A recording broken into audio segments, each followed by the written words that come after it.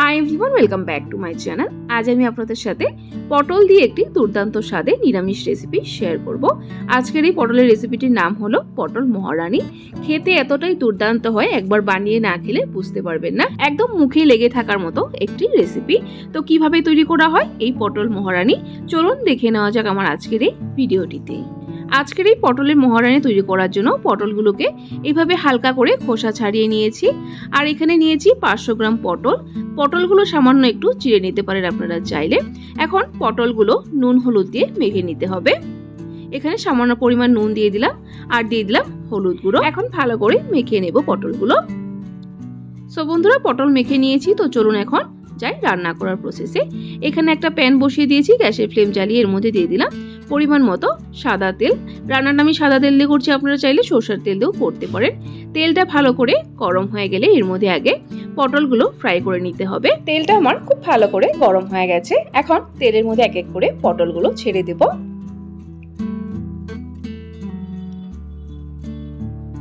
So বন্ধুরা পটলগুলো ছেড়ে দিয়েছি। এখন ভালো করে নেড়ে চেড়ে পটলগুলো লালচে করে ভেজে নেব। পটলগুলো এদিকে ভাজা হতে হতে চলুন গ্রেভির জন্য প্রিপারেশনটা করে গ্রেভির জন্য আমাদের একটা পেস্ট তৈরি করতে হবে। তার জন্য এখানে একটা মিক্সিং জার নিয়ে নিয়েছি। এখন এদিকে একটা প্লেটে নিয়ে নিয়েছি দশ বারোটা কাজু, চারটে কাঁচা লঙ্কা, ঝালটা নিজেদের স্বাদ অনুসারে দিবেন। তারপর পাঁচটার মতো নিয়েছি আলমন্ড বাদাম আর নিয়েছি এক ইঞ্চির মতো আদা। এখন সব কিছু একসাথে মিক্সিং জারে ঢেলে দেব। তারপর এর মধ্যে দিয়ে দিব অল্প একটু জল। জল দিয়ে ভালো করে মিহি করে একটা পেস্ট তৈরি করে নিতে হবে। সো দেখুন বন্ধুরা পেস্ট তৈরি করে নিয়েছি। দেখুন, ঠিক এরকম করেই পেস্টটা তৈরি করে নিতে হবে। যেহেতু পটল মহারানি একটু রিচ করেই বানাতে হবে। এদিকে দেখুন, আমার পটলগুলো ভাজা হয়ে গেছে। বেশি কড়া করে ভাজবে না, নইলে পটলগুলো শক্ত হয়ে যায় সফট থাকে না। হালকা করে ভাজলে পটলগুলো সুন্দর সফট থাকে। এখন পটলগুলোকে আলাদা পাত্রে তুলে নেব। পটলগুলো তুলে নিয়েছি, এখন সেম তেলেই বাকিটা রান্না করব। এখানে দিয়ে দিলাম একটা তেজপাতা, তারপর দিয়ে দিলাম কিছু গোটা গরম মশলা দিয়ে দিব। এখানে দিয়ে দিলাম তিনটে লং, এক ইঞ্চির মতো দালচিনি তিনটে ছোট এলাচ, আর দিয়ে দিব ফোড়নে এক স্পুন পরিমাণ গোটা জিরে। এখন ফোড়নটাকে ভালো করে দশ থেকে পনেরো সেকেন্ড সময় নিয়ে ভেজে নেব। সো বন্ধুরা, ফোড়নটা ভেজে নিয়েছি। এখন গ্যাসের ফ্লেমটা একদম লোতে করে দিয়ে এর মধ্যে দিব এক স্পুন পরিমাণ কাশ্মীরি লঙ্কা গুঁড়ো। কাশ্মীরি লঙ্কার গুঁড়োর বদলে আপনারা চাইলে নর্মাল লঙ্কা গুঁড়োটাও দিতে পারেন, যেটা ঝাল হয়। কাশ্মীরিটা দিলে সুন্দর কালার আসে। তারপর দিয়ে দিয়েছি এক স্পুন পরিমাণ ধনে গুঁড়ো, হাফ স্পুন পরিমাণ হলুদ গুঁড়ো, আর দিয়েছি হাফ স্পুন পরিমাণ জিরে গুঁড়ো। এখন এর মধ্যে অল্প একটু জল দিয়ে মশলাটা ভালো করে কষিয়ে নেব।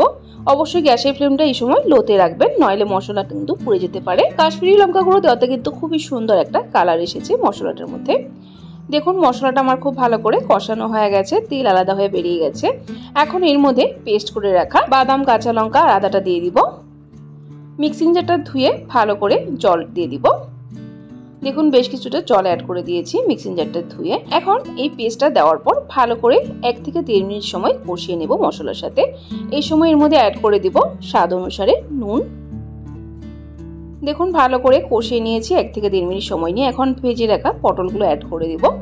পটল অ্যাড করে দিয়েছি, ভালো করে আবারও নেড়ে চেড়ে নেব। এখন পটলগুলো মশলার সাথে ভালো করে দেড় থেকে দুই মিনিট সময় নিয়ে কষিয়ে নেব। আমি ঢাকা দিয়ে কষাবো যাতে করে পটলগুলো সুন্দর নরম থাকে। তো বন্ধুরা, ফিরে আসি দু মিনিট পর। দু মিনিট হয়ে গেছে, দু মিনিট পর ঢাকনাটা তুলে দিচ্ছি।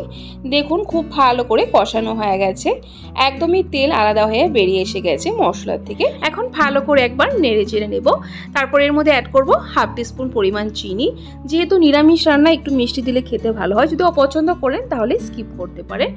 চিনিটাকে দিয়ে ভালো করে নেড়ে চেড়ে মিক্স করে নেব।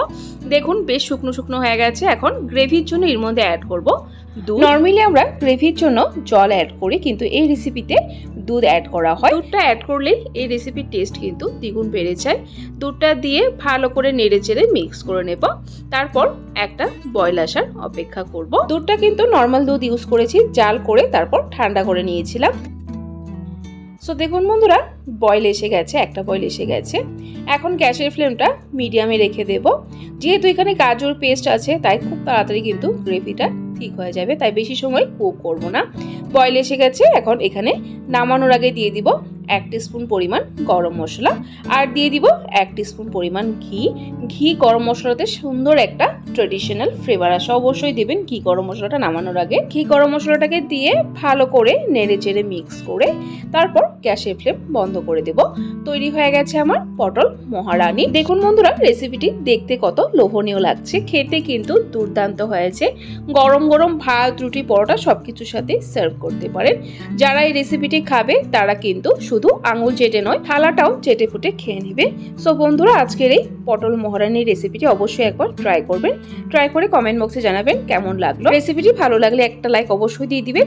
আরও এরকম নিত্য নতুন নিরামিষ রেসিপির আপডেট পাওয়ার জন্য আমার চ্যানেলটাকে সাবস্ক্রাইব করে দেওয়ার জন্য অনুরোধ রইল। সাবস্ক্রাইব করে পাশে থাকা বেল আইকনটা ক্লিক করে অল করে দিবেন, তাহলে আমার চ্যানেলে যখনই কোনো নতুন রেসিপি আসবে নোটিফিকেশন আপনাদের কাছে পৌঁছে যাবে। ভিডিওটি সম্পূর্ণ দেখার জন্য অসংখ্য ধন্যবাদ।